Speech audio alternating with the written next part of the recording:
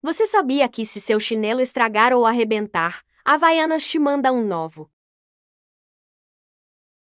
Só fazer reclamação no saque, eles recolhem os chinelos estragados e te enviam um voucher para utilizar no site. E aí, será que isso é verdade? Já estamos aqui no site das Havaianas, vamos ver. Produto com defeito. Em caso de produto com defeito de fabricação, entre em contato com o nosso central de atendimento ao consumidor. Após o recebimento do produto, esse passará por uma análise de controle de qualidade alpargatas.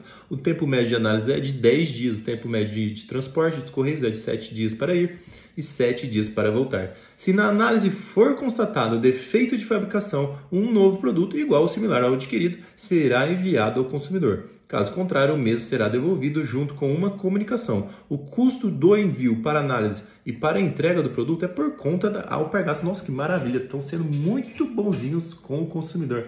Só que não, minha gente. Eles estão nada mais, nada menos que cumprindo o próprio Código de Defesa do Consumidor. O artigo 18 do Código de Defesa do Consumidor diz que eles são responsáveis por esses vícios aí de fabricação, entendeu? E o parágrafo primeiro diz que eles têm 30 dias para consertar. Se eles não consertarem em 30 dias, tem três opções, tá? E uma das opções é dar esse produto novo que está lá no inciso 1 desse mesmo parágrafo, tá? E, ah, mas esses 30 dias, tá certo?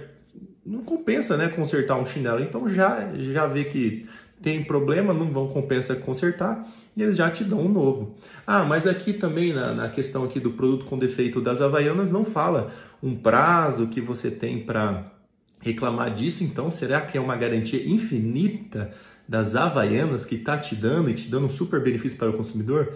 Também não, minha gente. Aqui também eles estão aplicando o Código de Defesa do Consumidor, mais especificamente a questão lá do vício oculto, do artigo 26, parágrafo 3 do Código de Defesa do Consumidor.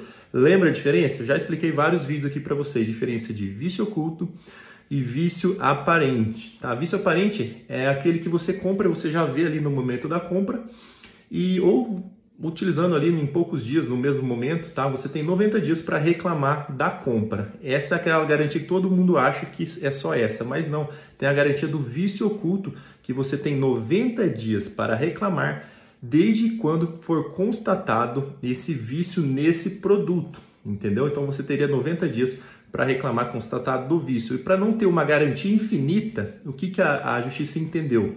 Que esse vício oculto tem que estar atrelado à vida útil do produto, tá certo? E como que eles vão constatar isso? Eles mesmos dizem que vão fazer uma análise e se for constatado defeito de fabricação, eles vão te dar um novo. Então, vai estar dentro da vida uh, do vício oculto, tá certo? E eles vão ver se está dentro dessa vida útil do produto e, e propriamente vão estar tá constatando ou não esse defeito de fabricação.